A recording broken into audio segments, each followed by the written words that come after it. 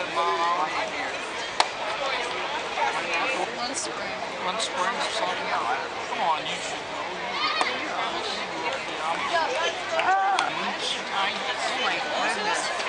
The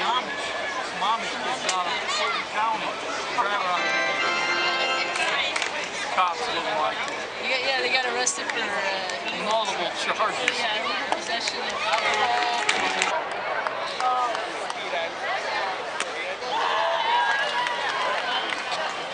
Leading off for Lansing, the Lugnuts DH, number 10, Max Pentecost.